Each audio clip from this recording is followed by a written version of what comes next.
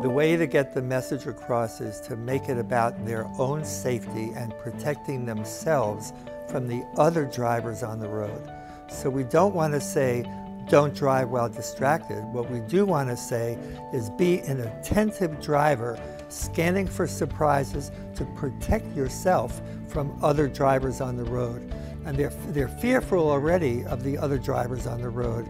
So in a positive sense, we can take advantage of that by helping them learn better skills for protecting themselves by scanning for surprises. So it's all about defensive driving, attentive driving. We want to flip it around from a negative message, don't drive while distracted, and instead teach them something positive, be an attentive driver and scan for surprises.